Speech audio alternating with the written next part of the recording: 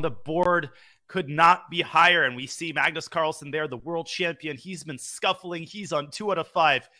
And he tried to defeat Jorden Van Foreest with the black pieces. He unbalanced the game successfully, but the Dutch Grandmaster held his own. And we are about to get a peaceful result in this game. Magnus has initiated a repetition of moves. The OV rook b1 check, kind of like we thought. King c6, and the rook will come back to a1. King will come back to b7, and on and on we go on the merry-go-round. We're about to get a draw. Yeah, we are. And king goes to c7. The rook will just keep on checking the king for as long as it can. And uh, there you go. The players will probably be playing these moves quite quickly from now on. But no, Jorden is taking his time. He's considering every possibility. It would be funny, Not right? Totally We'd be kind of sure. we've well, we've been kind of joking a little bit that it's Magnus. Well, not joking. We've been kind of assuming that uh, Magnus is the one playing for the win. I do wonder whether Jorden is actually going to put his king on d6 and say, no, no, no draw for you today. To but okay. Back to c7. King d6. King d6 probably was losing to rook a1. Uh, um, but it's always worth double checking with as much time as they get on move 40, which is 50 minutes to be exact. You've got mm-hmm. enough time to triple check. Jorden kind of looking over at the arbiter, saying, All right, come over here. We need to claim the draw. We've got a draw to make.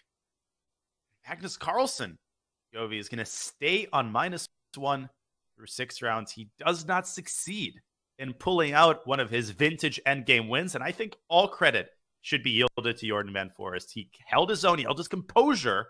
And particularly, I'm impressed with how he handled the final stage of this endgame after Magnus played Bishop d5. That rook endgame was not easy to navigate, and he did so with confidence and with verve. And Magnus never really had a real shot at winning the game. No, he uh, played with great accuracy. And I also kind of want to highlight the moment where he played b4. I mean, it was a move that took me by surprise, but once it was on the board, it made perfect sense. It was a simplifying move. It made his position easy. And uh, like I, like you kind of said, he's handled last stages of the game with 100% accuracy. Just complete perfection yeah. there it is not easy to play a move like that against Magnus Carlsen. We talk about the Magnus effect so often.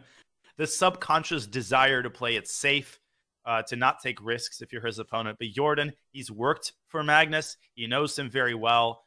And he's just a he just strikes me as someone who believes in his own skill. Jorden has won Tata Steel, and as we see them analyzing the game, we talked about this yesterday. I love this particular sight, just the sight of the players sharing critical moments after the game and being friendly to each other. This is what professional chess is all about.